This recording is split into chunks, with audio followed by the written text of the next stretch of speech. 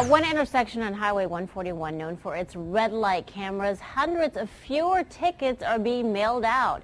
News 11's investigator Chris Hayes found out why a MoDOT program to change yellow light times all across the state, and it could wipe out the need for red light cameras. MoDOT is changing traffic signal times in response to a new federal study that found we need more time to stop. But it's not because of what we drive. Newer cars are getting better at stopping. Cars do stop just as well or better than they did in the past. This is our problem. This is our problem. It's our motorists. It's all of us, myself included. We need more time to stop. We have too many things that distract us from doing our due diligence, which is being an alert driver.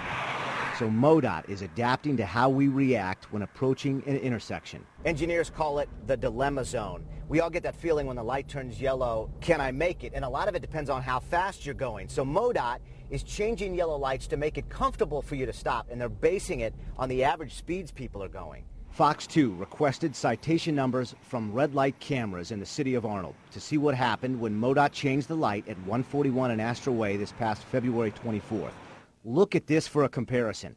Last May, Arnold cited 709 people for running a red light on camera. This May, Arnold cited 17 people. Just look at that 709 to 17. It's a lot. It, it, it, was shocking. But in a good way, according to Arnold Police Chief Robert Shockey. It's a win win.